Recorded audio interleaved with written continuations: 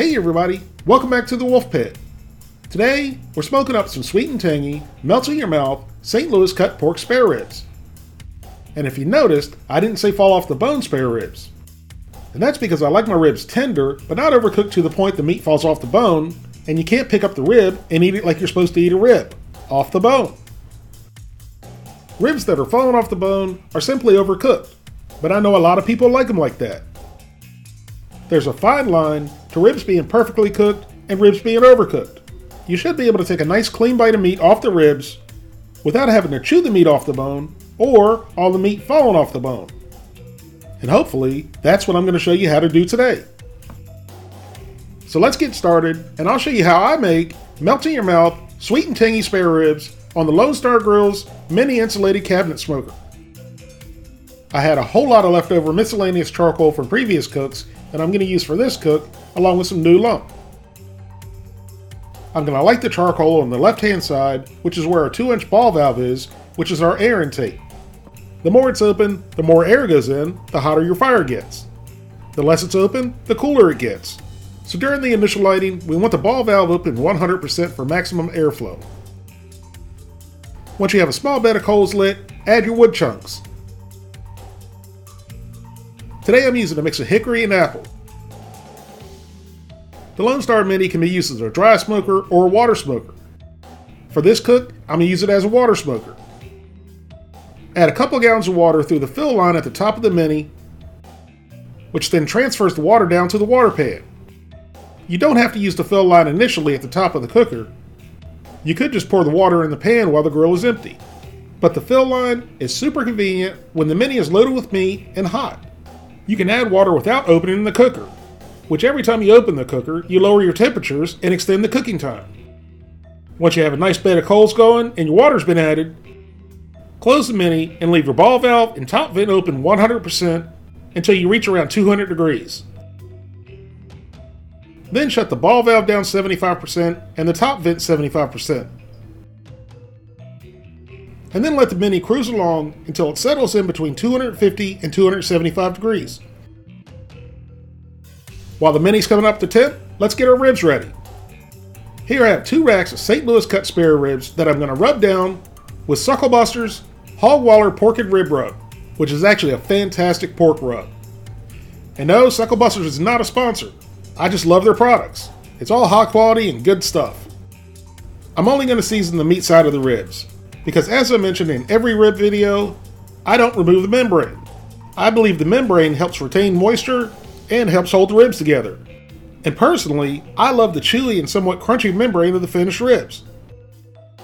You could rub these a couple hours before and stick them in the fridge, or even up to overnight before cooking, but these are going right on the mini after they're rubbed. If you've already noticed from some of the footage, I cooked these ribs along with the brisket in the brisket video. If you missed that video, check it out up here.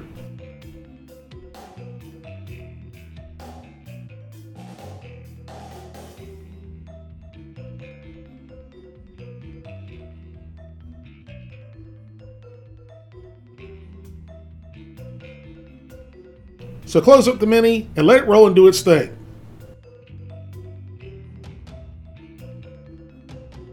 After four hours, the ribs were looking super sexy with a very nice even pullback, which indicates a nice uniform temperature in the Mini. No hot or cold spots. The water pan is doing its thing, boiling and providing lots of steam to our meat.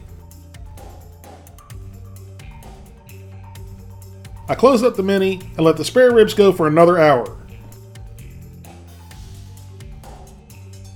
After 5 hours total, our spare ribs were ready to be sauced. And I'm going to sauce these with another Suckle Busters product, their honey barbecue glazed and finishing sauce, which is phenomenal on pork and equally good in a shot glass.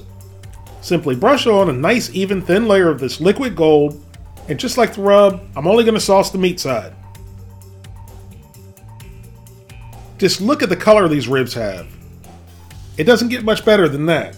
I was going to leave this rack of ribs unsauced, but my guest requested sauced, so you get it your way at the Wolfe Pit.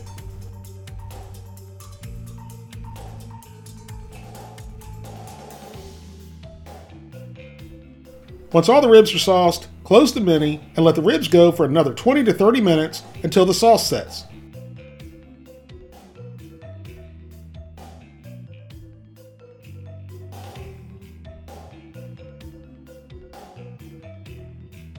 After five and a half hours, our St. Louis cut spare ribs are done. And unfortunately, I have the worst lighting possible, which I do apologize to you, the people. You, the people, deserve better lighting. The lighting doesn't do these ribs justice, but the show must go on.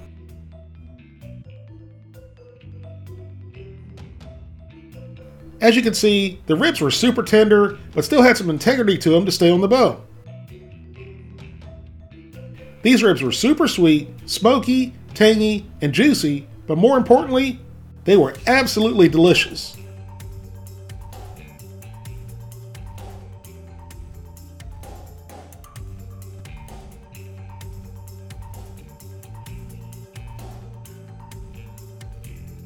I hope you guys get a chance to try these ribs. Thank you all very much for watching. Please don't forget to like this video and subscribe, and I'll see you soon.